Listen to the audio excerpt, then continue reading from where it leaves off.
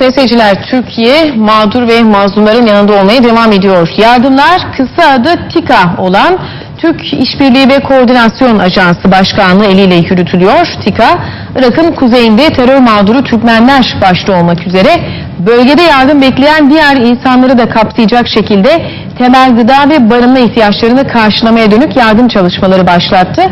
Yardımları en yetkili isme soracağız şimdi. TİKA Başkanı Doktor Serdar Çam. Ankara Haber Müdürümüz Melik Yiğitel'in konuğu. Hemen Ankara'ya dönelim.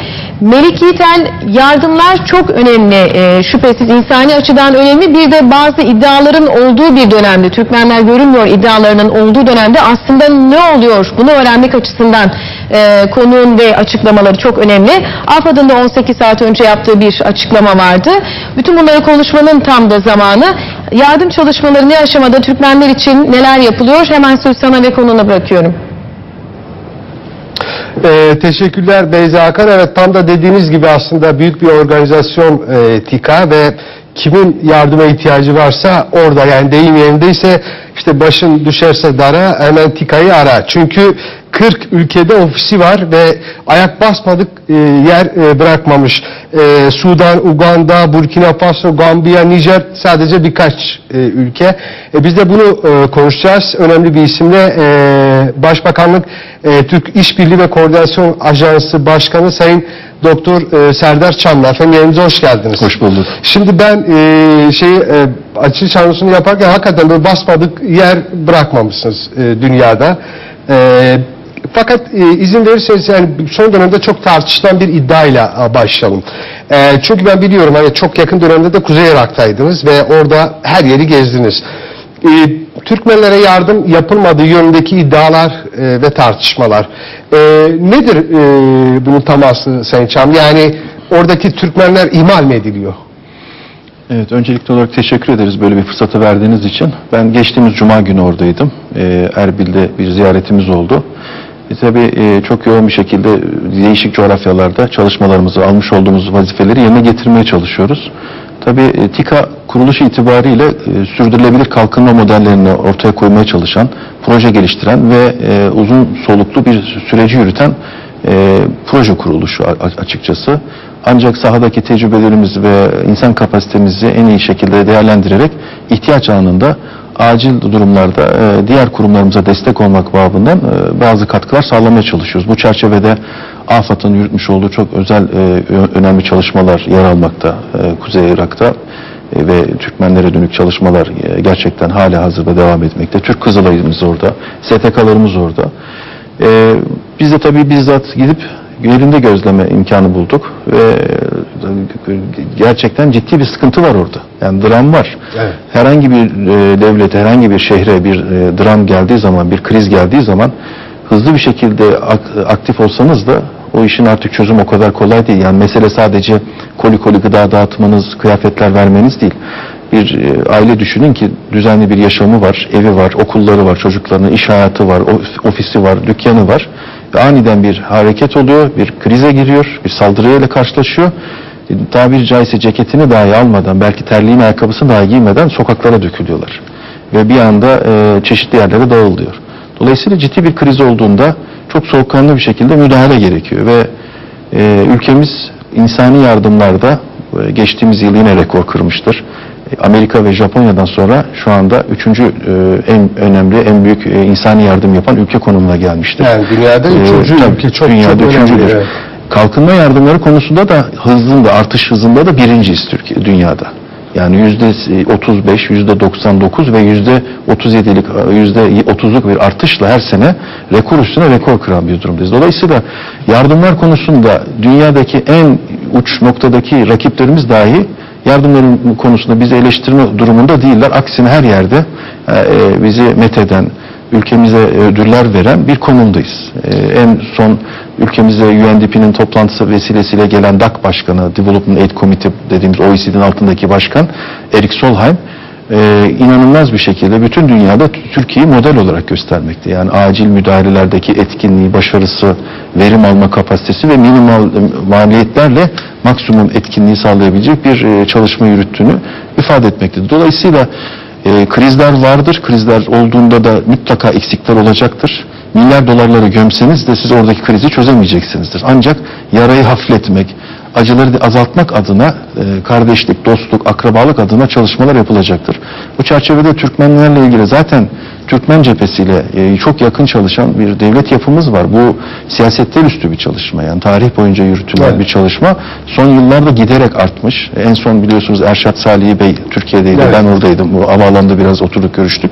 Kendilerinin ifadesiyle zaten bu noktada her noktada işbirliği halinde çalışmalar Sayın devam ediyor. Baroğlu'yla da görüştük. Burada. Biz orada da Evet. kendisine sorduk hani Türkmenler ihmal e, ediliyor iddiası. Ha, Hayır dedi. Yani Türkiye e, bizim yani kardeşimiz sonuçta bağlı olduğumuz bir ülke. Buradaki insanlar canımız, kanımız ve ellerinden geleni yapıyorlar dedi ama o açıklamaya rağmen bu iddia sürdüğü için ben özellikle yani size sordum. Yani Salih Yani biz tabii- açıklamasına rağmen bu iddia bir şekilde devam ediyor. Biz tabii teknisyen olarak çalışmalarımızı Evet. yapmaktayız. Ee, ben Erbil'e gittiğimde sabah e, ilk yaptığımız iş Başkonsolosluğumuzda Türkmen Cephesi'nin e, başkanlarıyla, bölge temsilcileriyle toplantı yaptık.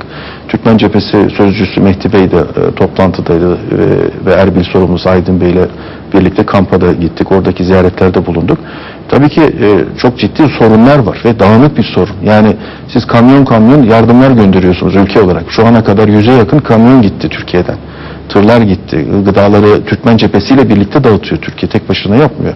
Yine burada e, hem Türkmen cephesinin katkılarını hem de e, Kuzey Irak yönetiminin desteklerini de e, ifade etmek lazım. Yani bizzat silahlı güvenlik destekleri vererek bizim arkadaşlarımız TİKA ekibini koruyarak dağıtımlar yapıldı orada köy köy. Şimdi benim görebildiğim kadarıyla hani böyle insani yardım ötesinde siz böyle yeni yaşam alanları yani ya işte bak hani böyle e, çağdaş sağlıklı e, bir hayat e, sunma noktasında çok fazla e, beni görüyorsunuz. Çünkü çalışmalarınıza baktım mesela o girdiğiniz yerlerde diyorsunuz ki işte eğitim önemli, e, sağlık önemli.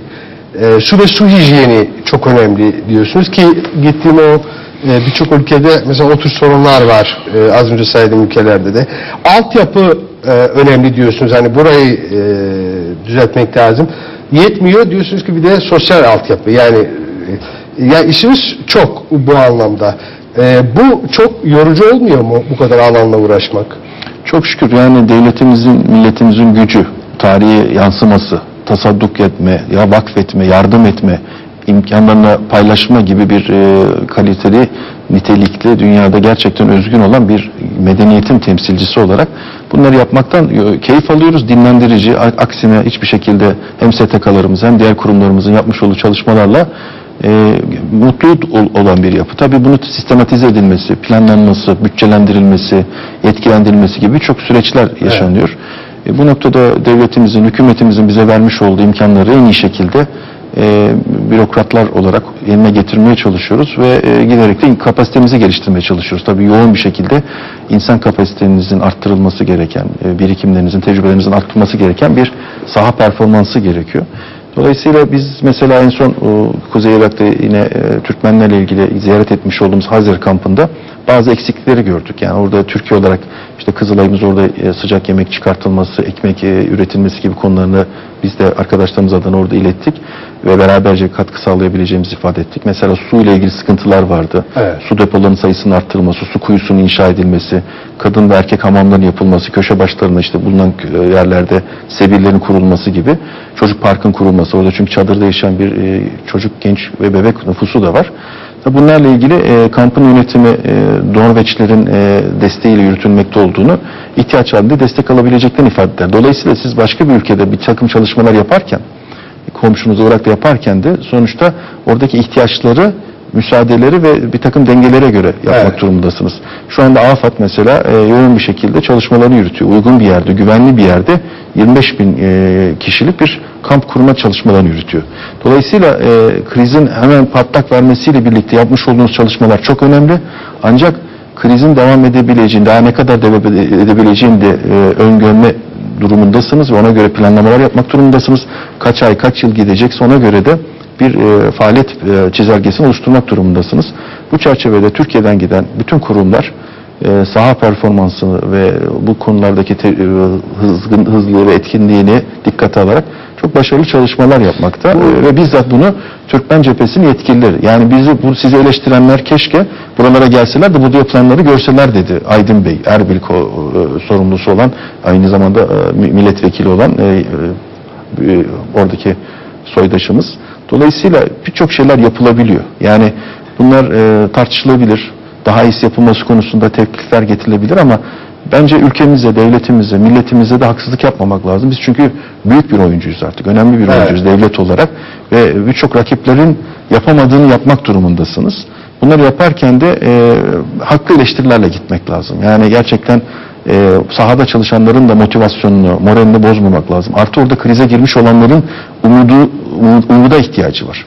Yani sizin dağıtmış olacağınız salça, yağ, e, işte bulgur, peynir, makarna kadar geleceğe tutunabilme, yaşayabilme, dayanabilme moral destek. de- desteğe Evet. ihtiyaç var.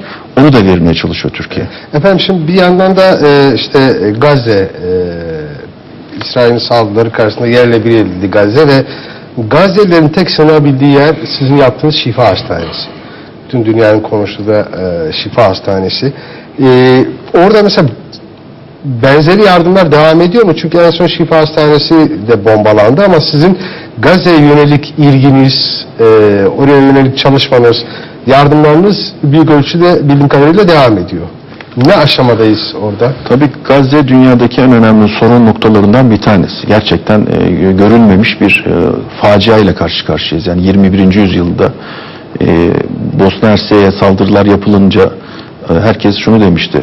Batı medeniyetine ait olan, Batı değerleri olan, a- 21. yüzyıla ait olan bir süreçte böyle şeylerin yaşanmayacağını düşünüyorduk. Ancak yaşandı. Katliamlar, Evet. e, soykırımlar yaşandı ve hala devam ediyor. Gerçekten denizde sı- sınırı olan ve tel örgülerle çevrilmiş küçücük bir alanda kendi başınıza yaşamaya çalışırken iki yılda bir büyük katliamlar yaşanıyor. İşte şu anda da 1800-1900'e varan bir e, şehit Evet. sayısı ve binlerce yaralı. E, Dolayısıyla Gazze e, travması ve çalışmaları hiçbir zaman bitmeyecek. Her iki senede bir yaşanan ortalama bir katliam var. Ondan sonra da o yaraların sarılmasıyla ilgili işte yeniden altyapıların yapılması. Bir, bir deniz- kampanya da var. O sırada biz hani konuşurken o kampanya Yani- destek anlamında Evet. onu da ekrana getirirsek çünkü onun koordinasyonu da büyük ölçüde e, Evet. yürütülüyor. Tabii burada e, o kampanyayı başta Başbakanlığın Evet. e, talimatları ve destekleriyle e, Diyanet İşleri Başkanlığımız yürütüyor. E, Birçok no- noktada Ramazan'da başlamış fitre ve zekatların e, toplanması Şu anda ekranda hani e, seyircilerimiz de e, gerekli katkıyı ve hesap numaralarından yatırabilirler. Onu da bir dipnot olarak düşelim. E, gerçekten çok özel ve e, anlamlı bir kampanya oldu ve e, başarılı bir kampanya devam ediyor. O kampanyadaki de toparlanan rakamların e, TİKA marifetiyle Gazze'deki ofisi marifetiyle e, oradaki insanlara ulaştırılması konusundaki süreç Başbakanlık tarafından talimatlandırıldı ve biz o süreci elimizden geldiği kadar yerine getirmeye çalışıyoruz. Gazze'deki ofisimizde çalışan e, arkadaşlarımız, orada başında bir koordinatör vekilimiz var, Murt- Muhammed Mürteca Bey ve bir ekibi var. E, bir avuç ekip olarak orada e, çok yoğun bir şekilde en şiddetli anlarda, sokağa da, dahi çıkmakta zorlanan anlarda Evet, evet, sürekli e, 15 bin aileye e, gıda yardım yapıldı ve gıdayı da Gazze'nin içinden temin ettiler. Yani esnafın elindeki olanlardan e, ödemeler yapılarak toplandı ve dağıtıldı. Yine şu anda Ramazan'da başlatılmış ve devam etmekte olan e, yaklaşık 25 bin kişiye e, yönelik sıcak yemek üretimimiz devam ediyor. E, Her gün e, ortalama işte e, bir ailenin tüketebileceği bir bir öğünlük yemeği üretip e, dağıt, dağıtılması onun dağıtımı süreci devam ediyor. ediyor. Evet. Nasip olursa onu biraz daha böyle bir imarathane e, şeyine sokup şu anda çeşitli mutfaklarla anlaşıldı orada üretim yapan mut- mutfaklarla oradan dağıtım yapılıyor. Ancak bunu biraz daha kalıcı bir hale sokmanın da çalışmalarını yapıyoruz. E, Diğer taraftan tabii e, evleri yıkılmış olanların yatak ihtiyaçları var. Konutları yıkılmış, konutların yapımına dönük bir takım çalışmalarımız falan devam ediyor. Oradaki Sosyal İşler Bakanlığı, Zekat Komitesi gibi çeşitli kuruluşlarla işbirliği yaparak.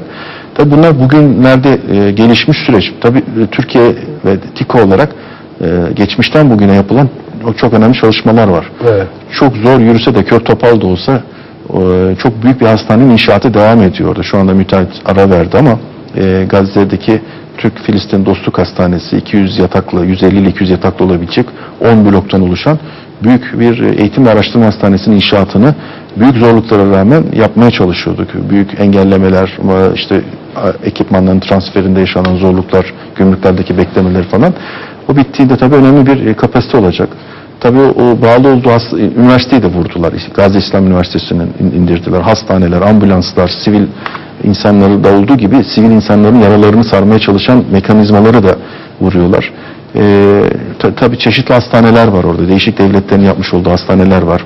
Şifa Hastanesi gibi bizim Türk Evet. Kızılay'ın e, desteğiyle e, modernize edilmiş, e, katkı sağlanmış olan hastaneler var. Bunların hepsi tekrar yeniden bantı başa saracağız. Yani ortalama iki yılda bir e, biz 2-3 ay önce o Ramallah'taki koordinatörümüz ve büyükelçimiz e, Abdülhamit Han'dan kalma Sebil'in açılışı için gitmişti. Tören yapılmıştı Gazze'de. Şimdi belki o Sebil'de e, yerler esiyordur. Tekrar e, Oldukça restorasyon çalışması yapılacak. Evet. Her şeyinden başlanacak. E, düşmez kalkmaz bir Allah vardır. E, hep bu umutla yani Gazze halkı dünyanın en sabırlı insanları olmuştur şehitlerini defnettikten sonra yaralarını yavaş yavaş sarmaya çalışacaktır. Orada rehabilitasyon merkezlerimiz Evet. var. Kurduğumuz, desteklediğimiz yetimhaneler var. Bir sürü kopmuş bacaklı, kollu insanların yaşadığının üstüne yenileri de eklenmiş olacak. Onların hayata tutunması, onların çalışması, rızıklarını elde etmesi gibi bir sürü projelere ihtiyaç var. Sula tesisatları patlamış, elektrik üretim tesisatları patlamış, mazotları patlatılmış. Biz en son Türkiye olarak oraya hastanelerdeki cihazlar sönmesin, kapatılmasın diye önemli bir destek gönderdik yine Başbakanlığın e, özel bir talimatıyla e, bütçe aktarıldı oraya. O mazotu daha kullanamadan tesisi patlattılar biliyorsunuz elektrik üretimi. Şu anda o mazotu da hastanelerdeki Bir jeneratörlerde de böyle kullanıyorlar. güçlükler var yani Evet. savaş ortamında. Şimdi e, süremiz hızla ilerliyor. Ben e, şimdi baktığımda hani 40'a yakın ülkede ofisiniz var. Mesela ben e, Etiyopya'ya gitmiştim Addis Ababa'da. Aa burada da mı TİKA var e, demiştim. E, ya birçok yerde işte Somali'de oradaki altyapı işlerinin tümünü büyük ölçüde hallettiniz. Cidden de her yerdesiniz. Yani e, mesela ülkelere bakıyorum işte Sudan, Uganda, Nijer, Gambiya, Burkina Faso. Ya gi- gitmediğiniz yer var mı Sayın Çam? E, Mutlaka daha tabii Türkiye e, son e, 10 yıllık bir performansla çok önemli bir başarı elde etmeye başladı. E, 200 yıllık geç kalınmışlığı kapatmaya çalışıyor Türkiye aslında. Dolayısıyla her yere canhıraş yetişmeye çalışıyor. Mutlaka eksikleri olacaktır ama muazzam bir performansla e, her yere yetişmeye çalışıyoruz. Niye buralara gidiliyor diye zaman zaman eleştiriler alınsa da çoğu zaman niye buraya daha gitmedik diye e, bir e, toplumsal baskıyla da karşı karşıyayız. Ecdadımız pek çok yere gitmiş. Oralara niçin gitmiş, nasıl gitmiş, neleri sağlamışsa bu, bu dönemde de ona benzer çalışmalar yapılmakta. Yani e, buradaki amaç tabii ki bir şov amacı yok. Yani Türkiye'de orada olsun değil. Yani dostlar alışverişte görsün misali değil. Gerçekten dünya gün be gün e, birçok noktalarda krizlere doğru gidiyor. Afetler oluyor, e, seller, depremler ve buna benzer işte savaş, terör gibi birçok noktalar yaşanıyor ve ve dramlarla karşı karşıya. Ve bunlara çözüm üretemeyen artık kuruluşlar var. Yani bugün Birleşmiş Milletler kendi okullarını korumaktan aciz duruma düşmüş yani. Filistin'de 7-8 tane okulu bombalanmış. Orada sığınmış olan çocuklar, insanlar katledilmiş. Dolayısıyla Türkiye gibi yeni oyuncular dünyaya e, da ortaya çıkmaya başladı. Ee, geleneksel yardım yapan ülkelerin dışında yeni yardım yapan ülkeler ön plana çıktı ve geçtiğimiz e, Haziran ayında da Türkiye'de bununla ilgili bir zirve yaptık Birleşmiş Milletler UNDP ile birlikte TİKA olarak. E, gerçekten Türkiye gibi ülkeler artık etkin olmaz ise dünyadaki pek çok krizin çözümüne de e, katkı sağlayacak mekanizmalar çalışmamakta. Evet, yani iddianız varsa ülke olarak. Tabii. Ve bu dünyada yaşıyorsanız bana ne beni ilgilendirmez, bana sokma, beni sokmayan yılan yı- e, bin yıl yaşasın şeyini söyleyemezsiniz. Bir şekilde sizi vuruyor artık. Yani Pasifik'te yaşayan ada devletleri şunu söylüyorlar. Bizim zaten bütçelerimiz birkaç milyar dolar yıllık. Ancak bir e, tsunami veya bir işte fırtına geldiğinde o bir yıllık gelirimizi alıp götürüyorlar ve biz 20 yıl toparlanamayacak noktaya geliyoruz. Siz o Pasifik'teki ada ülkeleri de mi gittiniz? Oralara da küçük küçük Her yere basıyor yani. en azından minik, simgesel de olsa Türkiye buraya da gelmiş yardım yapmış denecek kadar 50 bin dolarlık 100 bin dolarlık da olsa te- temsili de olsa Türkiye'nin orada olmasını sağlamaya çalışıyoruz. Ancak şunu ifade edeceğim yani o ada devletleri kendi halinde mütevazi çalışırken doğanın dengesini bozan, iklim şartlarını bozan dev ülkeler yapmış oldukları e, hatalarla, çevreye vermiş oldukları zararlarla kendilerine çok fazla bir zarar vermiyorlar ama başkalarına zarar vermiş Evet. oluyorlar. Dolayısıyla böyle bir adaletsizlik de dünyada giderek hakim olmaya başlamışken e, Türkiye bu noktada gerçekten insani duruşuyla, ahlaki duruşuyla ve medeniyetinden gelen, tarihinden gelen mesajıyla çok farklı bir konumda ilerlemektedir. Evet. Ee, sürenin sonuna geldik ama benim eksik bıraktığım eklemek istediğim bir şey varsa bir iki cümleyle de onu alalım. E, Türkiye'nin yardımları her ne kadar zorluklar olsa da, eksikler olsa da artarak devam etmektedir. Türkmenlere de devam etmektedir, Ağızkalılara da devam etmektedir. Bütün soydaşlar, akrabalara, bütün kurumlarımız her yönüyle bilinenin ve bilinmeyen ötesinde fazlasıyla yardım yapmaya çalışmaktadır. Peki. Yani bu konu bence e, tartışılmaması gereken gerçekten özel bir alan olarak da görülmesini arzu ediyoruz. Onu Peki, e, isteriz. işiniz zor. E, kolay gelsin. Çok teşekkür E, ederim. Çünkü imdat bağıran her yerdesiniz. O yüzden de e, Allah yardımcınız olsun. Hepimiz Sağ olun. inşallah. Çok sağ olun. Ee, Evet, e, Beyza Hakan, e, Türkiye'deki en büyük e, organizasyon, e, en büyük kuruluş, e, TİKA Başkanı Serdar Çam hem e, son dönemde çok tartışılan Türkmenlere yönelik yapılan yardımları hem e, günlerdir İsrail çoluk çocuk kadın demeden yerle bir ettiği Gaz- Gazze'ye o savaş ortamına rağmen neler yaptıklarını hem de aslında dünyada TİKA basmadık yer bırakmamış, e, her yere koşuyor. Onları e, anlatmaya çalıştı ama öyle görünüyor ki e, önümüzdeki dön- dönemde biz TİKA'yı daha çok e, konuşacağız. Teşekkür ediyoruz Melik Yiğitel. Sayın seyirciler, TİKA'nın başta Türkmenler olmak üzere insani yardım çalışmalarının ayrıntılarını konuştuk. Devam ediyoruz. İstanbul Gazi Osman Paşa